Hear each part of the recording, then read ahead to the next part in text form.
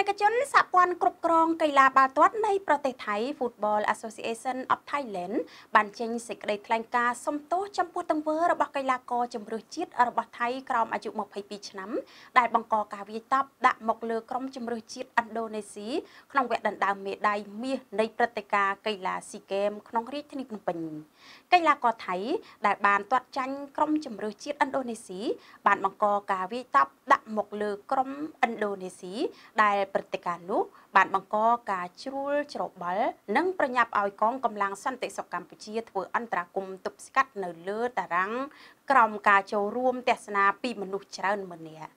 សេចក្តីថ្លែងការណ៍របស់សហព័ន្ធបាល់ទាត់ថៃបានបញ្ជាក់ថាសហព័ន្ធកីឡាបាល់ទាត់ថៃមានការខកចិត្តជាខ្លាំងនិងសំទោសចំពោះទង្វើដែលមិនសមហេតុផលដែលបានកើតឡើងនៅក្នុងអំឡុងការប្រកួតនាថ្ងៃទី16ខែឧសភាឆ្នាំ2023ក្នុងពជាសាបាល់ទាត់បុរសរវាងថៃនិងឥណ្ឌូនេស៊ីដែលមានអ្នកគ្រប់គ្រងជាច្រើននៅក្នុងកីឡដ្ឋាននិងជុំវិញពិភពលោកដែលបានធ្វើឲ្យខូចកិត្តិយសធ្ងន់ធ្ងរដល់មុខមាត់ព្រឹត្តិការណ៍កីឡាតំបន់អាស៊ីអាគ្នេយ៍និងមុខមាត់បាល់ទាត់ថៃផងដែរ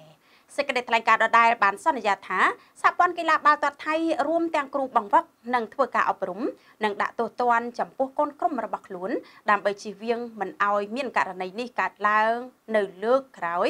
ក្នុងកីឡា2ឆ្នាំម្ដងនេះទៀតឡើយគូបញ្ជាក់ថាប្រទេសថៃនឹងត្រូវរៀបចំធ្វើជាម្ចាស់ផ្ទះនៃព្រឹត្តិការណ៍ SEA Games លើកទី33នៅក្នុងឆ្នាំ2025 យោងតាមការចុះផ្សាយរបស់កាសែតខ្មែរក្នុងឆ្នាំ1967បានឲ្យដឹងថា